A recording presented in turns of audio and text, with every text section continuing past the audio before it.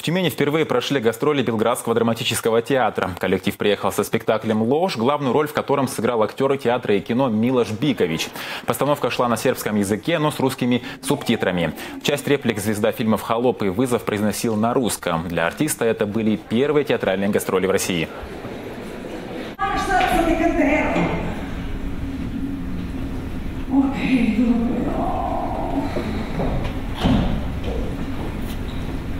Все будет хорошо.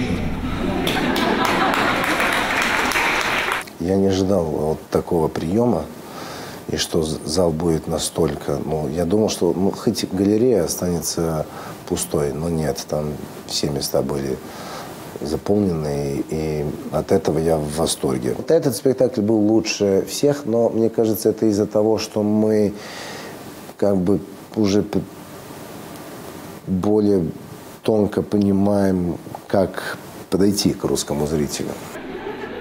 Спектакль прошел с аншлагом. Тюмень стала третьим городом в гастролях Белградского театра по России.